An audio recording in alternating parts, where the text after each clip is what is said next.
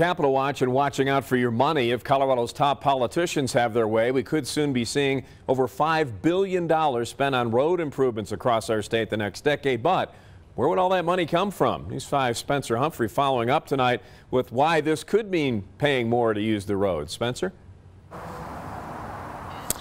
Yeah, well, Rob, that bill introduced yesterday by Governor Polis and mostly Democrat lawmakers does have some bipartisan support.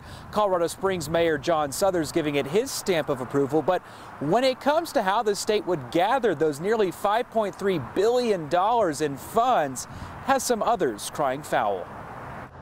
Colorado literally is now toward the bottom of almost every list that you see nationally uh, for, for the state of our roads. And being the president of Colorado Concern, a group representing over 100 CEOs in our state, Mike Kopp has a vested interest in our roads. You're seeing this traffic just get worse year over year over year. And, um, and of course, we all know that we lose a lot of personal time uh, which means money. It's what motivated him to get behind the nearly $5.3 billion road funding bill introduced in the Colorado Senate. The bill being touted as an alternative to Colorado's main road funding source, a 22 cents per gallon gas tax implemented back in 1991. Cars are more efficient now, and just because of the power of inflation, uh, you're you're essentially collecting less and less and less each year. If passed, the bill would provide funding for many high priority road projects for the next 11 years. A little more than a billion and a half of that come from the general fund. Uh, and the remainder of that comes from a series of different user fees. Those fees would be attached to products and services that use our roads to operate. That package you order from Amazon, well, it would have a 27 cent delivery fee packed with it.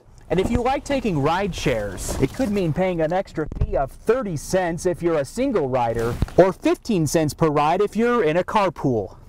And at the pump, it could mean paying an extra 8 cent fee per gallon when you fill up. And that's where people like Jeff Crank have an issue. You know, in Colorado, we have the Taxpayer Bill of Rights, which is supposed to uh, require that politicians ask us before they reach into our wallet. And Crank asked local leaders to sign onto a pledge which argues the bill would be in violation of the Taxpayers' Bill of Rights and the recently passed Prop 117, which said if you're going to institute new fees, those, just like the Taxpayer Bill of Rights, those have to be brought to the taxpayers for a vote. But if you ask Kopp, from a legal standpoint, uh, it, it is it is pretty well uh, buttoned down. He believes the bill checks out. Now, the bill is far from being set in stone. It was just introduced in the Senate and, of course, has to pass there, and then it would move on to the House and would have to pass there, possibly facing revisions along the way. We'll be sure to follow it as it moves through the state capital, and we'll keep you updated. Always watching out for you, Colorado Springs. Spencer Humphrey, News 5.